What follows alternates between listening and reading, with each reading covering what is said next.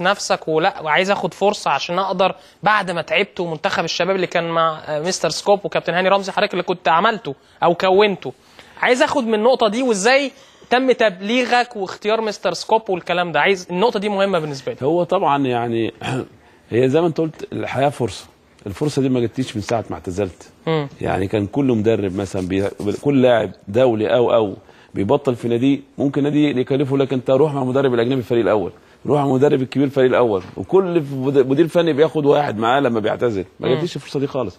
أنا اعتمدت على ثم نفسي. ما جاتلكش الفرصة دي في النادي الأهلي مثلا. ولا في أي نادي في... كنت جات لي بقى؟ في طنطا بعد كده.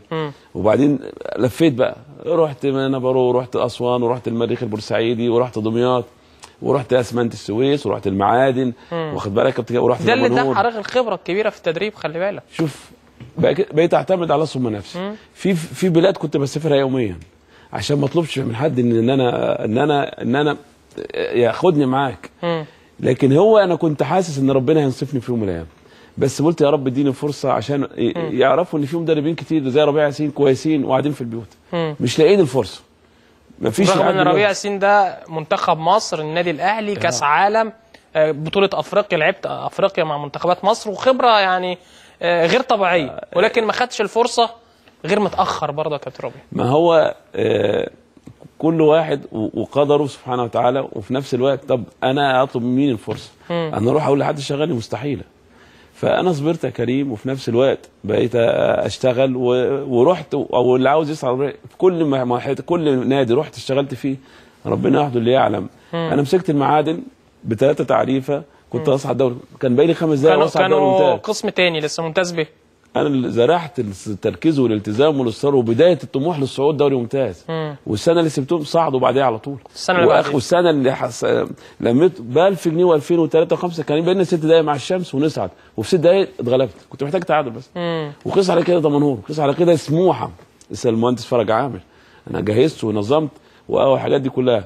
أنا عاوز أقول أنا رحت أندية واشتغلت فيها وثبت وجودي بس أنا ما بحبش أتكلم كريم ما بحبش أنا لكن هو إثبات الوجود مش ب... مش بتاع شو إعلامي. لا لا أنا أنا ما بحبش وحضرتك عارف كويس قوي أنا في حالي وفي نفسي ومؤمن إن أنا مش هاخد أكتر من نصيبه وأنا ما بميلش للدنيا يعني مش ماسك فيها قوي ما تفرقش معايا. المهم نعيش عيش حلال بأولادي وأسرتي وأبقى ماشي محبوب يعني ما عنديش طموح إن أنا أقاتل من أجل إن أنا لا هي جت لي. الدليل إن أنا المنتخب يعني لقيت سكوب عمال يعمل شغل، رحت ماشي. احكي لي آه احكي لي على الفترة دي يا كابتن ربيع.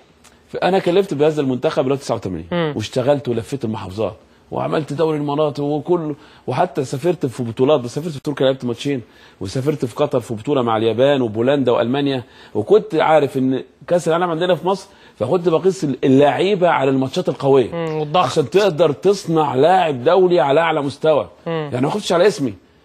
مدارس المتنوعه كنت باخد واجرب واجرب زائد الماتشات المحلية يا كابتن كريم المحلية. وبدأت بالدرجة الثانية لحد ما جابوا مدرب أجنبي موجود لقيته بقى يغير. وبقى يعني اللعيبة أنا الكل في الكل بقى واللعيبة دول أولادي وبيسألوني ويعملوا. لقيته بصورة وحشة. هو تصرفاته مش محترمة. ما ينفعش معايا.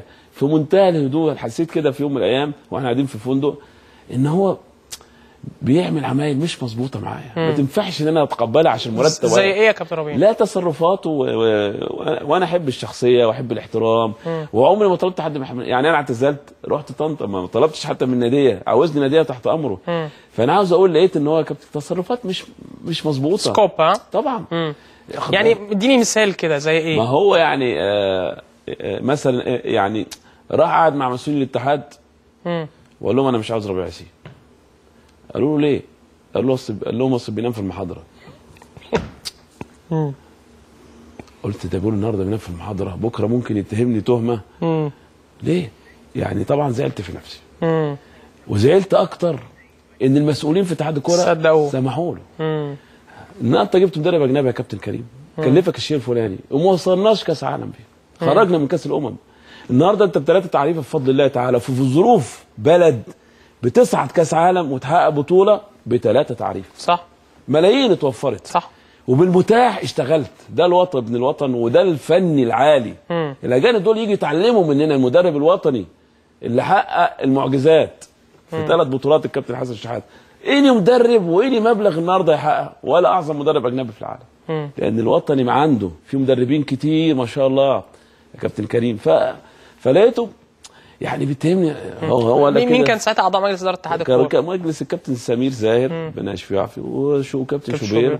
كابتن مجدي عبد الغني وكابتن آه. أيمن طب ما دول زملاء يا كابتن ربيع ليه ما اتكلمتش معاهم وقلت لهم يعني الراجل بيتبلى عليا الراجل بيقول كلام مش صح؟ وافرض مثلا يعني افرض مثلا يا كريم إن أنا ده كان مس... كانوا مس... كانوا طردوه بره المكتب. مم. يقولوا أنت بتتكلم على واحد شايل المنتخب واحد سمعته طيبة واحد مخلص للوطن واحد موفر الملايين. مم. انت إزاي تتكلم على هذا الرجل؟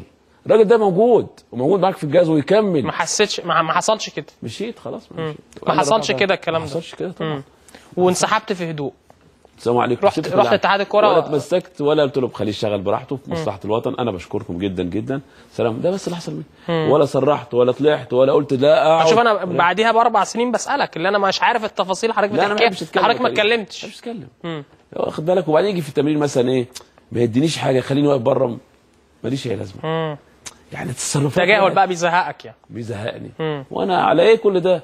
آه ربنا ما بينساش حد. أنا أحب الاحترام وكل طموحي إني أعيش محترم وأموت محترم. ولا بسعى لشيء الرزق انت الله سبحانه وتعالى. ده مبدأ يا كريم فانسحبت لقيتهم مكلفوني بمنتخب جديد. لسه هبتدي من جديد تاني. كنا طبعا بدأنا تصفيات والفرقه الحمد لله وتمام التمام وظبطنا. وكل اللي أنا جبته اشتغل بيه في تصفيات ولعب بيه في كأس عالم ولعب بيه